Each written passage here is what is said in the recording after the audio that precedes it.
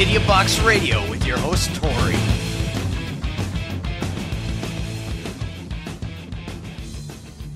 Hey there, guys. Welcome here. Welcome here to me. This is Idiot Box Radio. I'm your host, Tory, and I hope that this finds you super well. It's getting really close to Christmas. In fact, by the time you listen to this, it may even be Christmas Day. I might post this actually on Christmas Day, but I'll do it via a uh, a like I'll delay the posting and I'll I'll try to have it ready. In any case, Merry Christmas, and if it's not Christmas, fucking close enough, near enough. Now, before we do go on, what I'd ask you to do in the spirit of Christmas is, if you're listening to this through YouTube, then please do subscribe. It means the world to me. Same again for TikTok. And if you're listening through Apple Podcasts, be sure to leave a five star review. It doesn't cost anything. What does cost something is if you decide to become a patron, and that will cost you about $1.50 and get your name at the end of my videos, etc., etc., etc. In any case, Christmas, it's so fucking close to being the real deal with Big Red climbing in like a fucking serial killer, laying waste to your entire family and taking bread and bread. Why the fuck did I have bread on my mind? I haven't had bread since I had my surgery. Um, I had gas gastric fucking bypass surgery. Uh, yeah, 27 kilos gone so far. Look out, world. Here's a skinnier me. But uh, this has got nothing to do with that. The other day, I was uh, at a petrol station. You might call it a gas station, but I just finished filling up my Mini Cooper with uh, 98 bloody unleaded petrol, you know, the most expensive kind because, you know, BMW. And um, love the car, just expensive to run. In any case, I digress. Here the two I'm there for. And I'm in there, and it's like, it's Christmas time, it's December. I mean, we start celebrating Christmas in fucking February. Um, pretty much as soon as Valentine's Day goes down, Christmas goes up along with Easter. And I don't know, you insert your fucking celebration of your choice, and we'll be celebrating that together as well. What a crazy time to be alive in the world, that's for sure. But there's a, um, I'll let me paint a picture. We're a multicultural society, and whilst it doesn't really matter what colour people are, the girl behind the counter was Indian, and the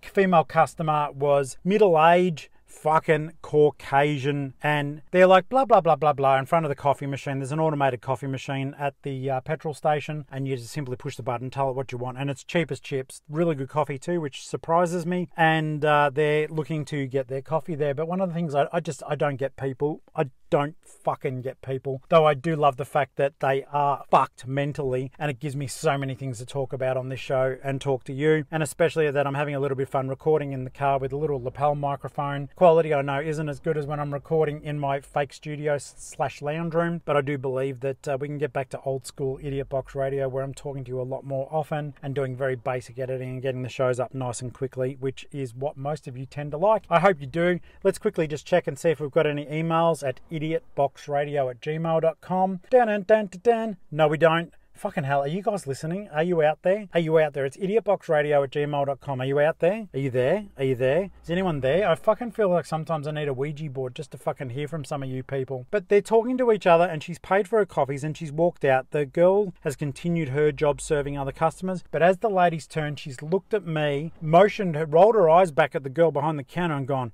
fucking cunt. What?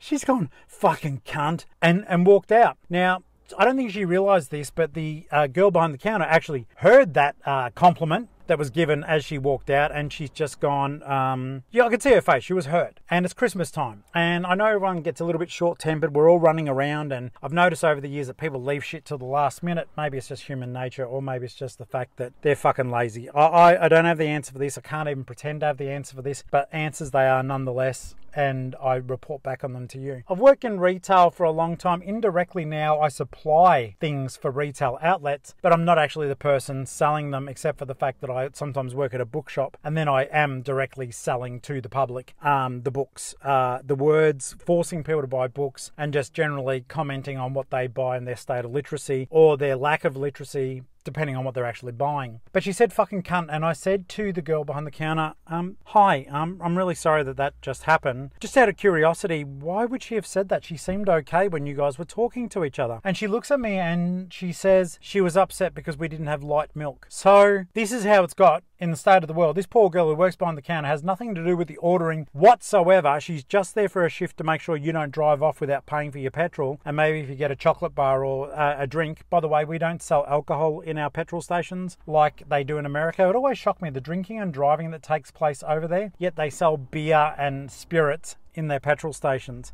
It makes no fucking sense. But what does in this day and age? I guess they're thinking, well, you know, common sense would tell you that you shouldn't have this until you go home, but yet it is a place that people have to drive to. Therefore, if they've got any sort of social problem or addiction problem, they're going to smack straight into that fucking thing as soon as they can to pull it down their fucking gullet as fast as they can as soon as they buy it. But Christmas time is the time of just fucking rude cunts and people being unreasonable to retail staff. So I know this is going to be Boxing Day by the time you hear this, the day after Christmas, the 26th. So be kind to your retail people. Just remember, you're there and it's a public holiday, so you're fucking shopping, but they've actually lost their day off. And yes, they're getting paid penalty rates, hopefully, depending on the country, but they're still missing out on time with their family and friends and all the shit that you like to do and are currently doing, but you're wasting time in a fucking shop feeding the fucking beast that is retail. And so they have to work as a result. They're not cunts. They didn't fucking ruin your Christmas. That's one of the things I think if you've listened to Idiot Box Radio for long enough, every fucking Christmas someone comes up and says to me, You just fucked my fucking kid's Christmas. No, I didn't, you stupid fucking shit. You've had 365 fucking days to sort this shit out, and you decided fucking three days before Christmas, where every other sensible fucking prick has been in and got their stuff to come and get it, you've decided now that we should have been fucking holding iPads just in case you came in. It's like the Facebook marketplace at the moment. They're getting me to fucking hold all my stuff and then just en masse just ignoring me when I say, uh, when are you going to come and get that Lego I'm selling you? I had a guy, who wanted to hold a thousand dollars worth of Lego off me and now he hasn't fucking shown up for it and won't answer. And I'm not into that name and shame that people do on Facebook, but I would just like to let him know that he's just fucked my fucking Christmas. Well, he hasn't. I've still got the Lego at home. If anyone wants to buy it, I'll do you a really good deal. But in any case, it is the story of like why a poor girl was called a cunt because the shop that she worked in and wasn't responsible for didn't happen to have light milk and therefore she'd fucked someone's ability to have a fucking cup of coffee the way exactly that they wanted, but they still bought coffee, so therefore it was still good enough for them to have, even though it wasn't exactly the way they wanted, and they bought two cups of coffee for two dollars, and yet they felt they had to fuck someone's day by